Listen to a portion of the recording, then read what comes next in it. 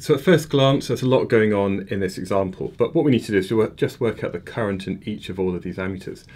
Now, um, an approach to a question like this is actually to draw onto your circuit diagram.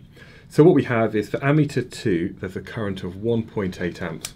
So I'm just going to draw an arrow here to show that at this point in this part of the circuit, the current is equal to 1.8. For ammeter 3, it's 1.2. So I'm just going to put 1.2 down there and for ammeter 4 it's also 1.2. So that's what I know from the question. Now we've got to remember that if you have uh, parts of a parallel circuit, the current splits at a junction.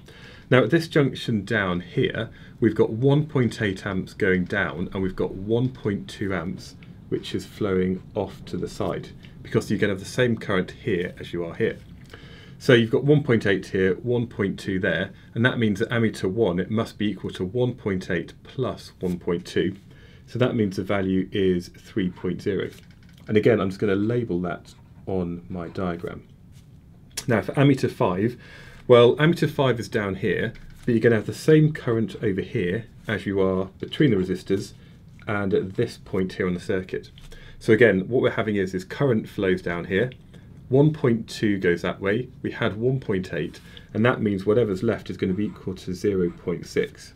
So you've got 0.6 going here, 1.2 there from that 1.8. So number 5 is 0.6.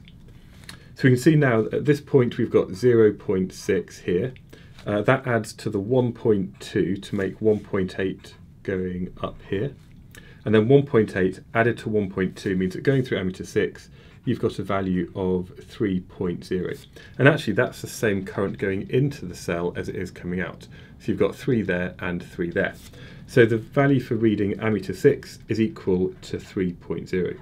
And all I'm doing is just kind of labeling stuff on my diagram and working round it in this kind of logical format in order to finish answering this question.